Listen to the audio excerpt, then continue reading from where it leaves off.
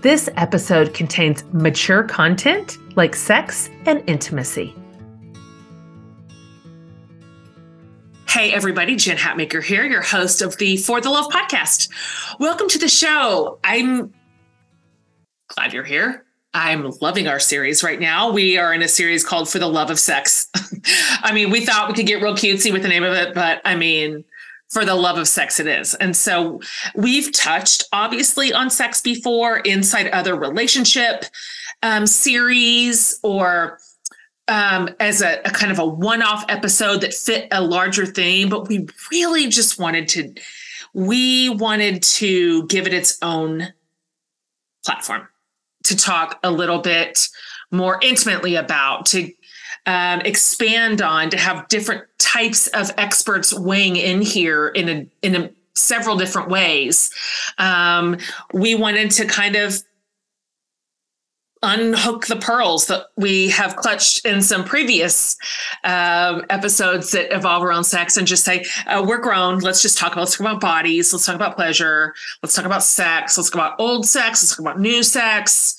Let's talk about the problems with sex. Let's just let's just get after it so I love today's episode because it's from another angle that ultimately matters. And it matters to all of us because of the way we consume entertainment. So, um, we're talking about a phenomenon related to sex that's been going through quite a change, a positive one, um, which is great news. If you're, you may have just been paying attention to to noticing some of the differences but on sex scenes when we're in film and TV spaces um, between let's say 10 years ago particularly at the turn of the me too movement um, and as sexual harassment accusations surfaced about obviously Harvey Weinstein and led to which led to like hundreds of other accusations all over Hollywood. And those are just reported, right? And so if you've noticed sex portrayed in film and on television um, post Me Too really um, sheds a light maybe on how it used to be portrayed. Like, you know, if you ever go back to something 20 years ago or more, a show, and you go, whoa, whoa, I cannot believe they showed that or said that um, or did that, um, how women potentially were exploited. Um, and, and, and why a lot of folks in the industry felt like there were no boundaries in these areas in terms of filming sex scenes and that the rumored casting couch was like a sad reality. And so so many brave women have come forward and talked about their experiences inside the entertainment industry um, some of who had been previously blackballed right from the business or struggled to continue their careers um, after having called their abusers on the carpet and then suffered at the hands of an unfair power differential. Um, so now, if sex is going to be a part of a film or television show, there are rules and there are boundaries. It's a great positive shift.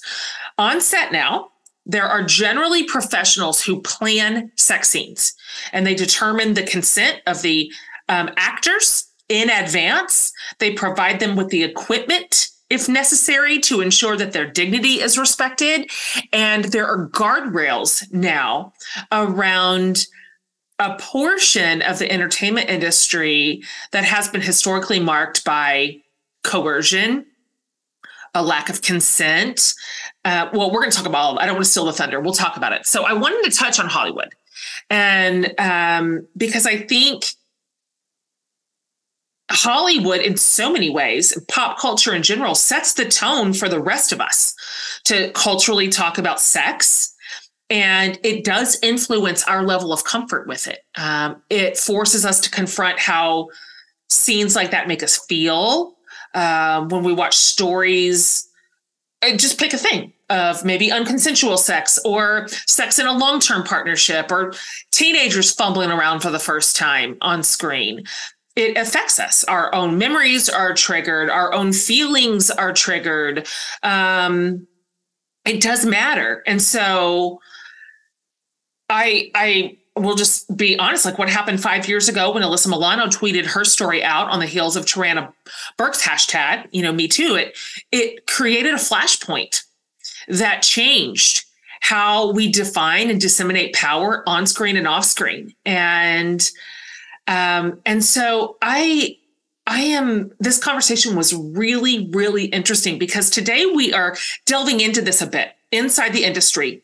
And we're going to talk about the changes um, that have been brought to bear. And I am so excited to have one of those professionals who's an incredibly well pedigreed intimacy coordinator to walk us through it.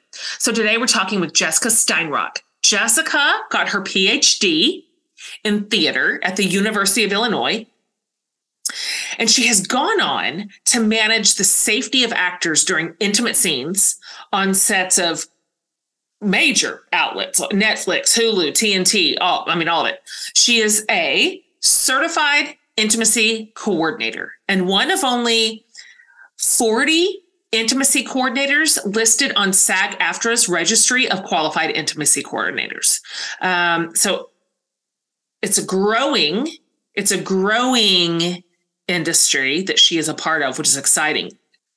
Additionally, she's the CEO of her own company that certifies intimacy coordinators and is SAG AFTRA certified as a company. So um, she knows the ins and outs of communicating consent, um, managing a set, and the importance of changing the standards of the industry. It's fascinating, it's interesting, um, it's new, it's kind of pioneering work and it has far reaching effects. This is good news, guys. This is great news. And you're going to love her. She is so lively.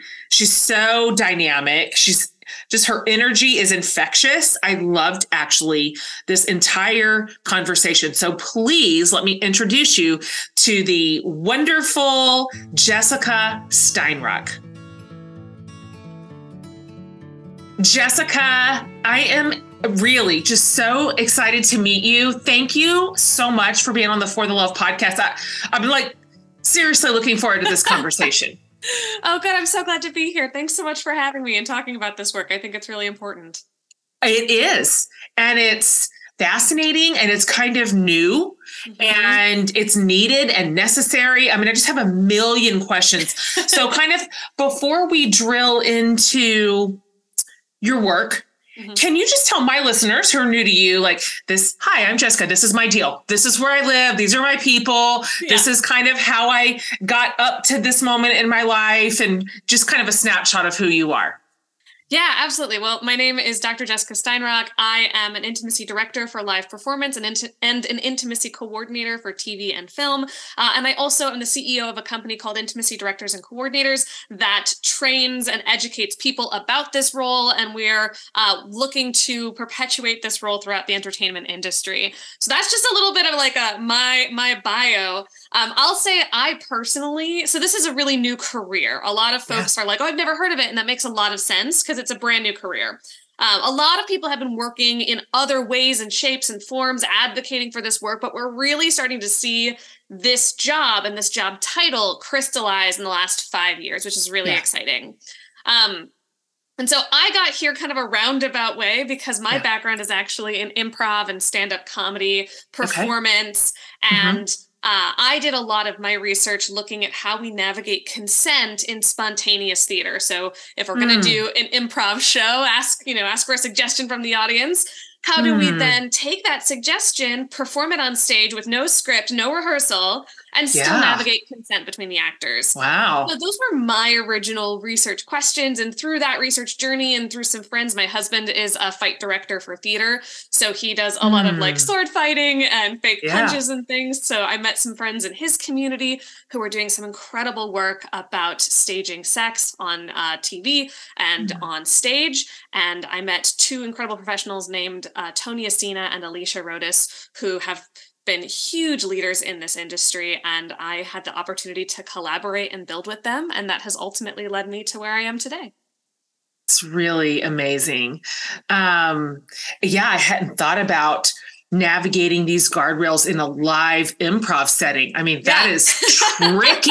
yes, it is. Yes, so, it is. I mean, you learned like in the deep end because um, uh-huh. then of course you can drag it into film and tv where everything can be scripted and carefully shot and edited but yeah that's a live wire performance right there yeah. Um, and it's yeah. an industry that's not really known for being the most friendly towards women or towards mm. you know anybody who's been historically marginalized and so yes. you have a lot of power dynamics to consider yeah they're really uh, really interesting questions and I, I, will also say that those communities are doing incredible work uh, navigating consent and working on eliminating harassment so uh, i'd love to hear really, it yeah it's been really exciting to be i loved i just love to hear this. I feel like when any industry begins to take this seriously, when they begin mm-hmm. to um, protect um, consent and dignity, it it has a, an effect everywhere. It just yes. justice somewhere ultimately means justice in more places and everywhere, yes. hopefully. And so, I this is a big deal even outside of the industry. And so,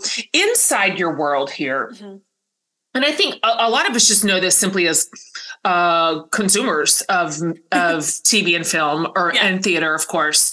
Um, but can you just put it like kind of on paper um, in terms of what the sets were like in filming spicy scenes historically, um, particularly before like the Me Too movement, definitely before the advent of intimacy coordinators um, as sort of a, of, of a boundary maker and keeper. Mm-hmm. So what what what what were the guardrails back in the day? Yeah, you know, there were not as many as there are now, that's for sure. Um, and I think it's really interesting because you see such a range of experiences. Some mm. people had great experiences filming intimate scenes. You know, I never want to be like, eh, you know, everybody had a terrible sure. time.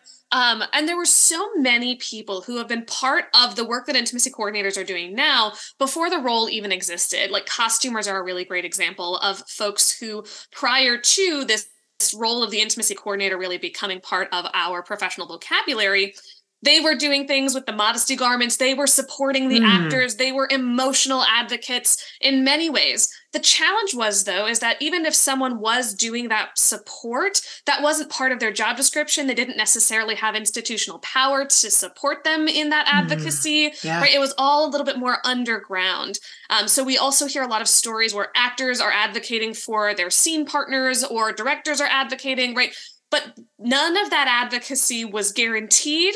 Sure. And we didn't know where it was going to come from or where you could go if you had questions, which means in an unfortunate instance where someone maybe was abusing their power or where communication was unclear or where someone did feel coerced, there wasn't necessarily a clear pathway towards support. Mm. Um, and so that has meant that over time, and because the power dynamics in the uh, in the entertainment industry are so strong, we had a lot of issues and challenges that led to coercion, led to lack of consent, led to abuse of power. Um, and a number of folks have really come out talking about not great experiences performing intimate scenes or being asked to do scenes of intimacy, really leading to the need for a role who's going to help coordinate, communicate, and support everyone on the on set to do these scenes safely and with artistry. So if you were to put like a fine point on it, um, when there weren't standards. I mean, you could hope for the best, and maybe you got a great director or a great yeah. scene partner. Mm-hmm. Uh, maybe the producers savvy, but obviously, as mentioned, absolutely no guarantees, no yeah. industry standards here. For those of us who are kind of outside of the world, we may be thinking, well, I mean, if a sex scene is written where how how can this be coercion like if you agree to it if you've like well i've read it and i'm going to be a part of this like what did it really look like yeah. um, for intimacy to be breached um, to be exploited in some way um, what did the power differential how do the power differentials like literally play in um, to ultimately a super po- potentially toxic work mm-hmm. environment yeah, I mean, you know, we read a script, right? And it says they have sex. And you're like, all right, I, I think I know what that means. Mm. But there's at least my brain already is like, there's 50 ways that that scene could look. And I might only really be comfortable filming 20 of them. Mm. Think about all the different positions there are when two mm. humans decide to be intimate with one another. And all of those, what sex, quote unquote, means, is going to look different to each and every person. Mm-hmm. So we can even take nudity uh, as an example. So I might okay. say, uh, you know, are you comfortable with uh, exposing your chest or your breast, right? And you might be like, oh yeah, that, sure, that sounds fine. But then when we're on the day, you realize that it's actually there's 50 other people in the scene. It's fluorescent lighting. It's going to be a yeah. close up on your chest, right? All of that information mm. will affect whether or not someone can give consent. And coercion comes into play when we lack time for consideration, mm. which I don't know if uh, if you've heard the phrase, but like, right, time is money, and on set that is magnified. One of the very first things that I was told the first set I walked onto was, "Don't be the thing that slows it down." There is a huge mm. pressure on the day on set yeah. to get through all of the shot lists that you're trying to get through. Mm. And so you don't want to be the thing that slows it down. Sure. And actors hear this over and over and over again. And so if on that day, if someone's like, Great, are you ready to take off your shirt? And there's all this new information coming yeah. at you. There's no time for consideration. And so mm. maybe you say yes, maybe you keep pushing forward, and then you walk off set 24 hours later, you pause and think, hmm, mm. that didn't feel great. Yeah. I think if I'd had that information, I wouldn't have said yes. I felt pressured into saying yes um, or pressured to say like, oh, well, this is a really great director. This is such an opportunity. Um, yeah. There's a million people out the door behind me that'll do this role if I won't. Right? All of those things that we kind of hear as industry cliches add to this element where pressure and time can lead the, to coercion. Okay. Mm-hmm. That makes perfect sense. So, this convo with intimacy coordinator Jessica is fascinating to me, right? With a peek behind all those like film and TV sex scenes. You know what's also sexy, you guys? Good sheets. If you ask me how I like my sheets, my answer is that I like them soft, melty butter. And you guys, that is exactly what Boll and Branch serves up. Boll and Branch uses the highest quality threads on earth. Their sheets are made from slow grown organic cotton for just a superior softness and a better night's sleep, of course. Not only do they feel buttery to the touch, they're super breathable. So they're perfect for like both cooler and warmer months. I also love that their sheets come in colors besides white that you actually want to have. Like they have a whole range in all sizes from twin up to California king. And their sheets are made without any nonsense, like no toxins, which means they're free from pesticides, formaldehyde, uh, whatever harsh chemicals. Boll and Branch also gives you a 30 night risk free guarantee with free shipping and returns on all U.S. orders. So this is basically a no brainer. Make the most of bedtime with Boll and Branch sheets. Get 15% off your first set of sheets when you use promo code for the love at bollandbranch.com. So that's Boll and Branch, B O L L A N D branch.com. Promo code for the love.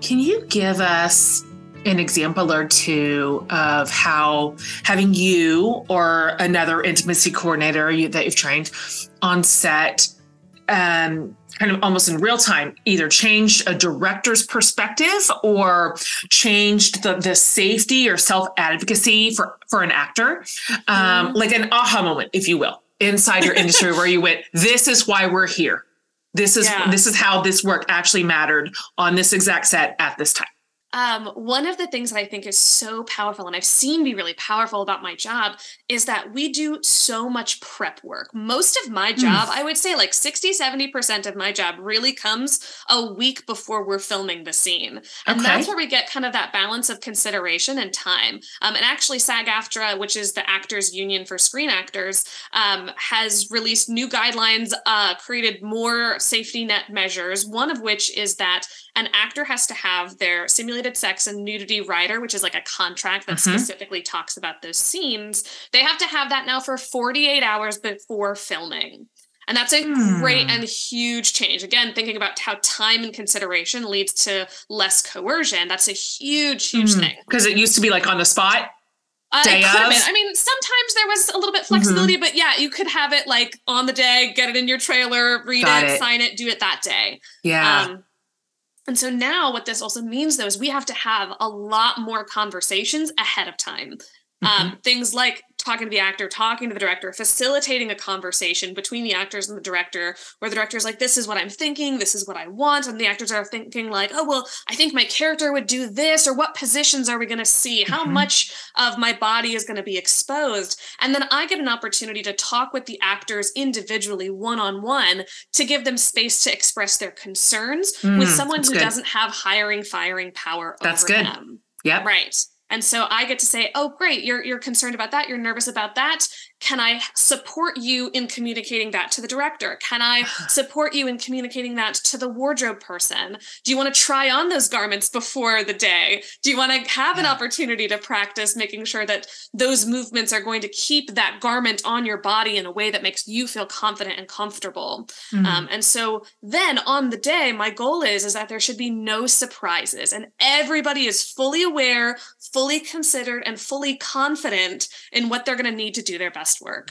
That's fantastic. Recently, an actor for Game of Thrones went on record to say that intimacy coordinators were unnecessary and could even um, interfere mm-hmm. and prevent actors from creating natural looking sex scenes. Mm-hmm. Um, and I can imagine other people maybe have a similar critique. So obviously, you want your work to protect and support actors mm-hmm. um, while also giving the best possible outcome in terms of acting. Right. So, yeah. how do you respond to something like that?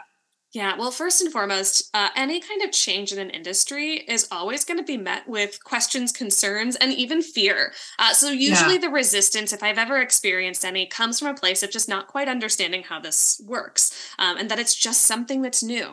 Now, with this specifically, this specific uh, idea of spontaneity and organic nature and acting, um, one of the things I like to parallel a lot is how we work in stunt scenes. Um, and so, right, we're not actually punching each other. We're not actually stabbing each other with swords. Uh, that is all deeply meticulously choreographed. Yeah. That is something that we've rehearsed and practiced, and also looks incredibly spontaneous. Good example. Uh, right, and looks amazing mm-hmm. because the actors are safe confident and are great actors. Like they're just example. good mm-hmm. actors, mm-hmm. right? And no one would be like, "Oh, well, the bar fight's not going to look real unless we just improvise it," right? That's true. That is right? so true. Yes. And so when it comes to scenes of intimacy, there's just kind of this like cultural idea. Well, no, we just have to go for it. We just have to.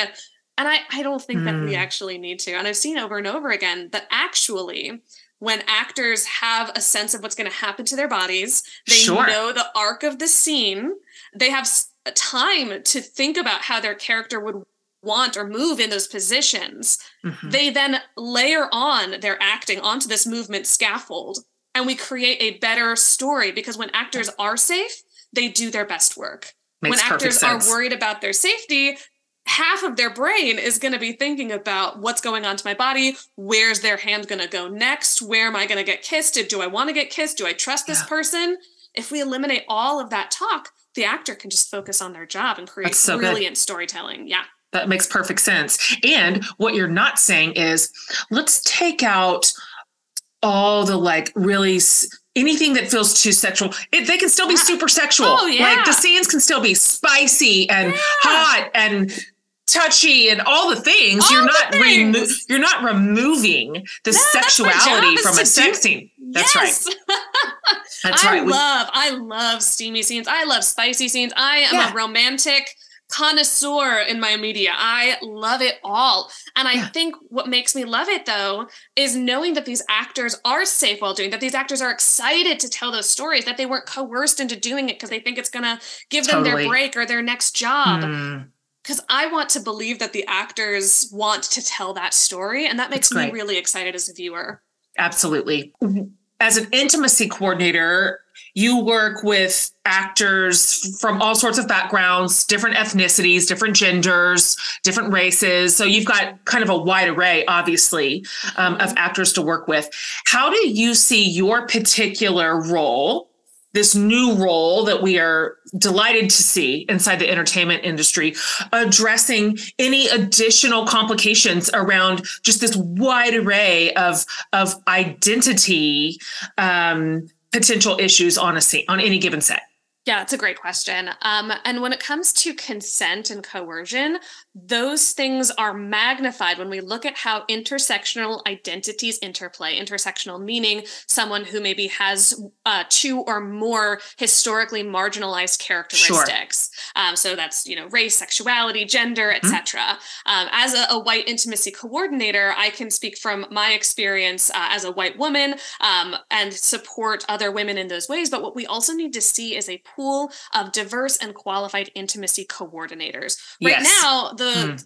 like right now intimacy coordinators are predominantly white women um, okay. and while this is a, a relatively um, new field and a rare field where women are the majority, what we need to see is a more diverse mm. pool of intimacy coordinators so that we have more of those voices impacting and supporting women of color, uh, Black trans women, um, actors who have historically marginalized characteristics. Um, so part of that, uh, as I mentioned, I run a company that trains intimacy coordinators, mm-hmm. and so we have a number of diversity, equity, and inclusion initiatives because That's we great. need to see more intimacy coordinators from more diverse backgrounds uh, and support those individuals into this discipline to give actors their best support. Excellent. Um, let's let's come up high. Let's let's pull up twenty thousand feet and kind of look down mm-hmm. um, at just some basic standards. We talk. You talk a lot about consent. Consent mm-hmm. being one of the center spokes of the wheel here, and yeah, so absolutely. obviously foundational to intimacy. Um, really, whether you're on a set or in a personal relationship, like this, this is an across the board mm-hmm. standard just for humans. So just in your words and your experience, can you break down for everybody listening um, what is consent? What does it look like? Um, what does it not look like? Um, and how? What are some of the? What's the path um, to a healthy, consensual sexual space? Yeah, consent is such an important topic, um, and and consent is the agreement between two parties that's an informed agreement to engage in an action or to talk about a topic right or to do something together. That's that's pretty broad. Um, but when we break it down uh, essentially it's that yes and no are both equally valid options. Um, so something i say a lot is that yes means nothing unless no is an option. That's good. One more time. Yeah. Yes means yes. nothing unless no is an option. That's great. And so when we think about an industry whose power dynamics have made it feel like if you say no, you're not going to get the job, you're not going to uh, get your big break. There's, again, I used that example earlier, but there's a hundred other people at the door that'll do it if you won't Mm. That means that yes isn't actually like doesn't mean anything because there's so much pressure behind it. Mm. And so, what we do is we create space for consideration. We offer information. We allow someone to try something out and then to change their mind, knowing that they'll have support if they do change their mind. Um, and we we build in all these different pathways to allow communication to flow so that consent actually has a possibility of happening. Now, mm-hmm. we're in an entertainment industry where this is an employer contract. Um, and so there's always going to be a power dynamic at play, but our job is to mitigate it as much as possible and to create as much space for information to be passed from person to person um, and allow for that free flowing of information to happen. Mm-hmm. Now, in personal lives, uh, there shouldn't be that kind of power dynamic, right? So that's where we really get into the differences between consent in a professional setting, mm. particularly when we're simulating sex for TV, versus consent with two partners who want to engage in an intimate activity.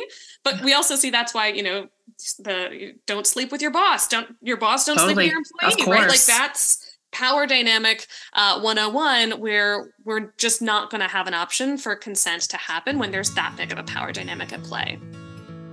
All right, listen up. I have a brand new me course on sex that's about to come out, and it is fire. Look, I don't care if you're single, married, mingling, whatever. You do you, but this course is for you. Because who among us does not want to improve our sex life, right? The answer is no one. So for this course, our sexpert, if you will, Dr. Celeste Holbrook is here, and you are going to absolutely fangirl her so hard. She's a sexologist. That's a real thing. And she has so much real life wisdom and practical tips and takeaways and more. So, in this particular course, we talk about real steps you can take to improving sex for you. We delve into discovery Um, Celeste calls it your erotic sandbox. You'll see, I've said too much. Um, we've got some ideas for things you might want to try.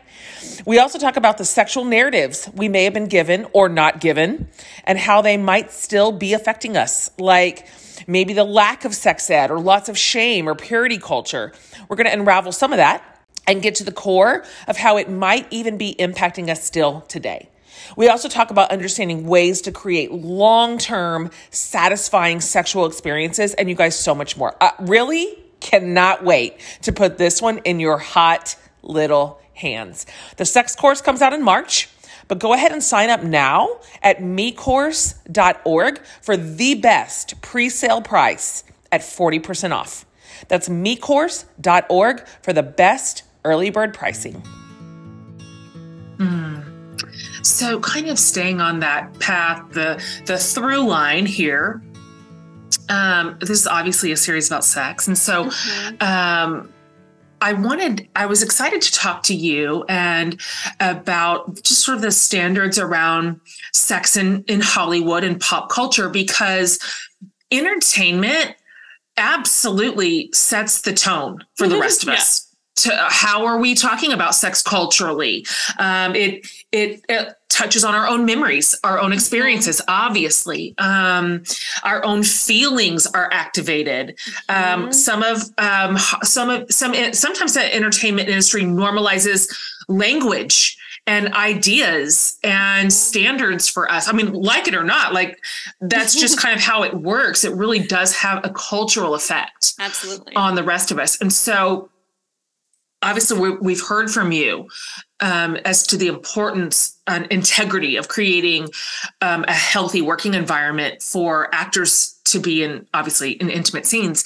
Um, and i i'm i'm so pleased to hear that those standards are improving and that you're a part of it. And mm-hmm. that there's a whole group of you looking at this going we can do better and it will not not only will it not harm the industry it will improve the industry mm-hmm. um, and so i wonder if it obviously you're funneled down like into your niche here but yeah. do you think about does it does it um, occur to you that what you are doing is actually good for the rest of us too that oh, you are creating sexual health um, in a way that has this exponential effect on the rest of us consumers of entertainment um, and what it's doing for us both personally sometimes um, and then for society as a whole just is that a is that at all a piece of your vision Oh, absolutely. Mm-hmm. And you know, and it's it's a multifaceted and a multi-pronged approach um, because I believe you know like let's let's just zoom in on an actor's experience if you're being treated with respect autonomy consent during this kind of intimate scene then when you move on to a different kind of scene if you aren't being treated with that same amount of respect and yeah. autonomy that's going to flash or signal and so, what we're also seeing now is consent culture expanding on TV and film sets. We're mm. seeing, as we talk about the intimate scene coming up, more perspectives and voices are now going into yes. that storytelling. It's less of a top down approach. Directors, I've worked with some incredible directors recently who have been so excited to hear the perspective of those actors on how they think their character would move. What's the story we all want to tell? And we're yeah. getting consent on the story we're telling, not just the physical actions. We're getting consent about well, how are we using our bodies to tell a story of intimacy? And is that a story we want to tell? Uh, and hmm. that's something that you know i do when i'm looking at a project whether or not i want to be part of it or not is how am i using my craft? And is that the story i want to put out in the world? Is that the story i want to tell Mm. Now, I do think it's really important that we pair this with also media literacy, more sex education, so that um, yeah. young adults aren't turning to TV intimacy and thinking, yeah. oh, that's how it works, right? TV intimacy, we've got like three minutes max totally. to tell a story. so we're not going to get uh, uh, we're never going to have an accurate representation. We might have an accurate representation of consent, of initial foreplay, of a climactic moment, but that's only going to be a fragment of what an entire sure. sexual encounter looks like. So I think media literacy and better sex education for youth is really important to mm-hmm. allow mm. art to remain art, and art mm. doesn't have to be the teacher. I don't right. think that art should be the teacher. I think mm. it can be an opportunity for expression, right. for exploration. Mm-hmm. That's right. And so we have to pair that with better sex education in our industry or in our uh, world as a whole. That's so good. I mean, if if we expect art to be prescriptive and mm-hmm. always instructive, yeah, um, then that's going to box in creativity in a yeah. very very narrow way. Because of course, some of your work involves. I'm I'm assuming involves s- sexual scenes that are violent, right? Yes. Or um, aggressive, or it's mm-hmm. not a lovely, war- precious part of the of the storyline. So, right, like you you can't only be relegated to right. instructive um, sexual like outcomes in your work. I am sure you've got to work within a lot of scenes. Um, well, I mean, we can also look again at uh, the violence example where it's like no one's looking at that for proper proper martial technique. No one's like, oh, that's, that's the right way to you know to point. punch someone at a bar, right? No, we know that that's art. We know yeah. that that's telling a story. We know that you shouldn't punch your friend if they say something bad, right? Like we know these things because we have broader education and cultural context Good. to view that. We don't mm-hmm. have that with intimacy right now. And that yeah. means there's additional pressure on scenes of intimacy mm. to be the instructor when I think that that's always going to land us in a place that's not going to be healthy or helpful. TV is a fantasy, TV is a storytelling, TV Definitely. is a uh, is an opportunity to send a message or share a message. Um, and people are always going to have different opinions on um, how that message got sent. You are so right. But what your particular work does, your your corner of of the industry does is it is instructive toward corporate culture. It is instructive toward college campuses. Mm-hmm. Um, you know, for other industries to be able to look in at what you are doing, where mm-hmm. you are prioritizing safety, consent, mm-hmm. um, autonomy.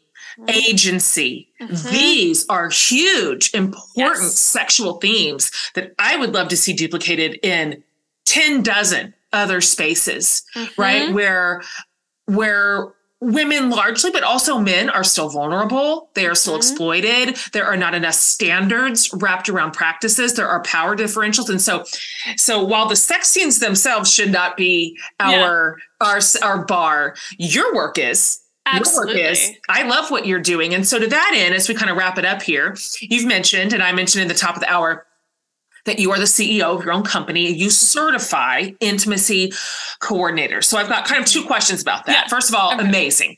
Just amazing. Second of all, what does that mean? What does that look like? Yeah. Like, how does an intimacy coordinator get certified? Like, what is it?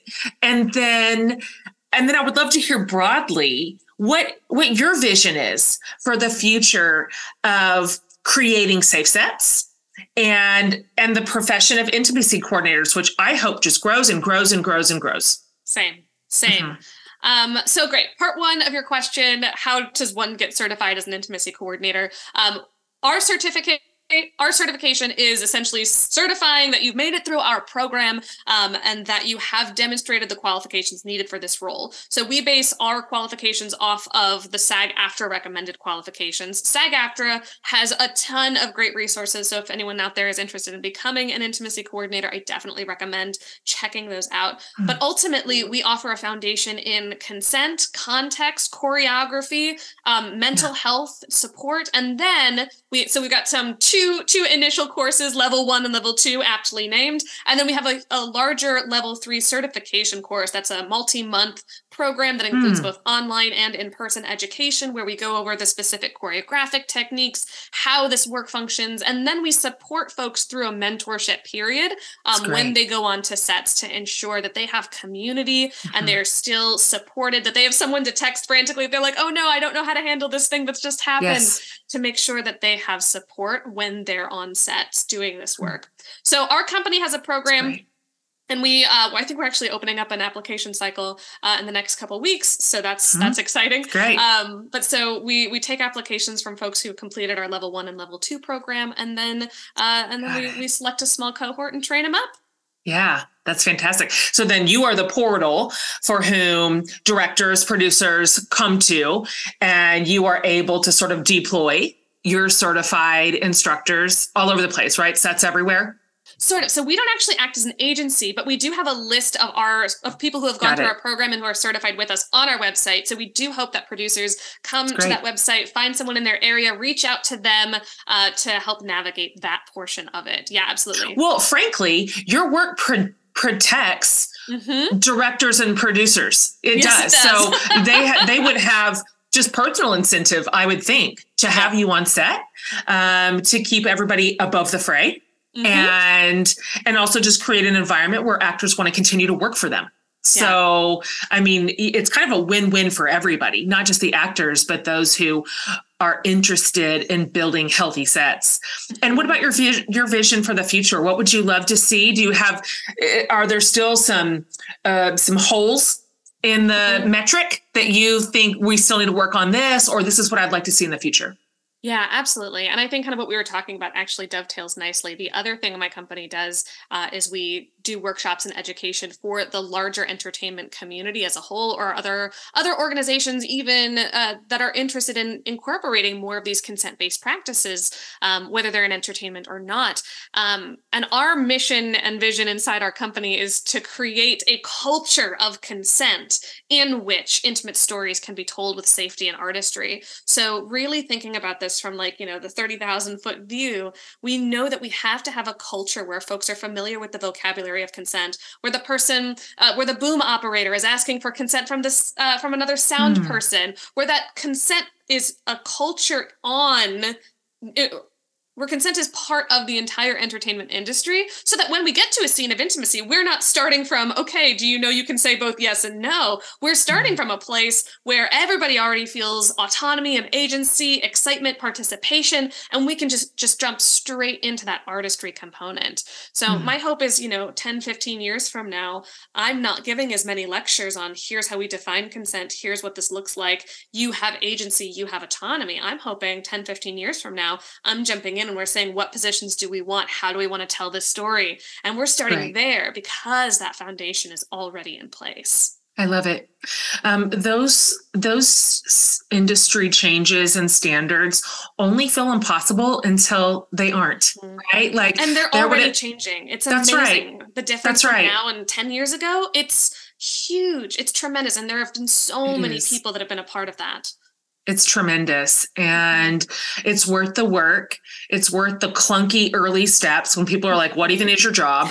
right Um, or you know, there's there's critique from the wings. You're going to Yeah. mess up acting. yeah somebody has to pioneer, and so I'm I'm thrilled to see you doing that. And Well, I have an Um, incredible community of colleagues who have gone before me and are coming with me to, to really make this change happen.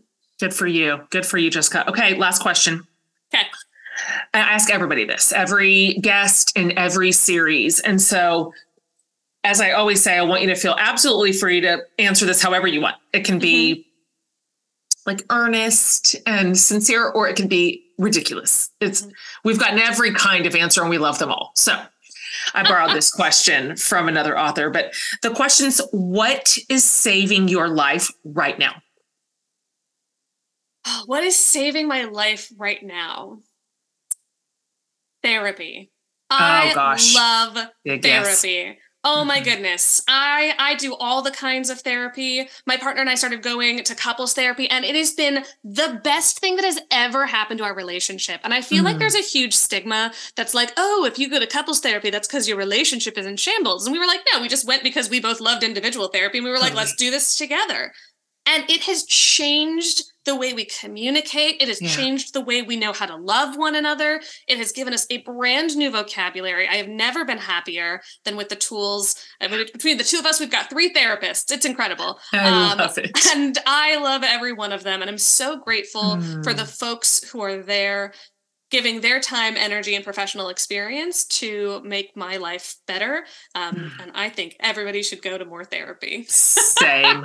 I am so deeply on record as saying therapy has, well, I can't really imagine my adult life without it. And It's so, Am- yeah, amazing especially if you find the right fit because i recognize Yeah. you know you, you might have to try a, a couple therapists to Sure. find someone but when it clicks it clicks that's and right. it's truly improved the quality of my life just beyond beyond a doubt Okay. Love that answer.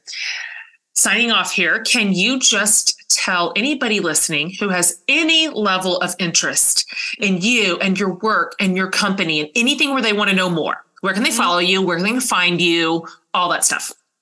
Uh, you can check out my company on idcprofessionals.com. You can also follow me on TikTok at Intimacy Coordinator. Uh, there is a, a, link tree where you'll be able to find me on Instagram and things like yeah. that. Um, but I, we would love to see more folks signing up for some of these classes to get that culture of consent in place, whether you're in the entertainment industry or not. I think there's a lot of value for everybody. But otherwise, mm. um, I just enjoy the conversation and hope that people find me and continue to talk about spicy scenes with me. Me too. Thank you so much, Jessica, for being on the show today, for sharing such important stuff with the rest of us, for giving us a little bit of hope. Like, look, everything's not on fire. Some yeah. things are going right. Absolutely. Some things are going well. Some things are actually improving. It's nice. It's good news. Mm-hmm. Um, so mm-hmm. I'm cheering you on. Absolutely cheering you on. Thank you for all your incredible work. Thank you so much for having me and for sharing about this work. I, am very grateful to be on this show. All right, you guys. When any niche industry improves their standards around sex, consent, safety, agency, it's literally good for all of us. This does have a, a ripple effect on other industries. Wouldn't you love to see the Jessicas of the world in all the places I mentioned where safety is not guaranteed or it's not standardized? Um, I just, this is great work. I, I feel really hopeful that there's no industry, there's no environment, um, there's no institution beyond repair, beyond overhaul or reform. And so I loved talking to Jessica. Um, as mentioned, I'll have all her stuff rounded up. Go over to jenhatmaker.com under the podcast tab, and I'll have the link to this episode. I'll have all the show notes, and I will have um, easy links to everything Jessica does her socials, her TikTok, her company, anything where because I don't know if you caught that there at the very end, but as as they certify and train intimacy coordinators, it's not just necessarily inside entertainment.